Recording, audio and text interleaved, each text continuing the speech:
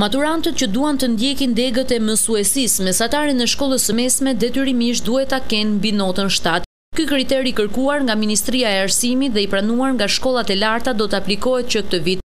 Zëvendësministri Ervin Demo ka treguar se kjo nismë si dhe mbulimi i tarifës së shkollimit për nxënësit e shkëlqyer që zgjedhin degët e mësuesisë, synon rritjen e cilësisë së arsimtarëve të ardhshëm.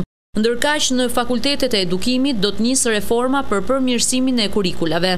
Tetëdhjetë për qind e programeve në degët e mësuesisë do të unifikohen. Edhe pse kjo nismë, veçanërisht rritja e notës mesatare mund të sjellë ulje të frekuentimit, ministria është e vendosur për të vijuar reformën. Kjo vjen pas një sërë testimesh kombëtare të arsimtarëve në sistem, nga ku ka rezultuar se gjashtëdhjetë e pesë për qind e tyre kanë probleme dhe ndër ta dymbëdhjetë për qind janë të nivelit të dobët. Ndërkohë një ditë më parë ministrja Nikolla deklaroi se do të rriten pagat e mësuesve, brenda këtij viti paga e mësuesve rritet me pesë për qind, ndërsa brenda gjithë mandatit rritja e pagës do të prekë shifrën e dyzet për qind.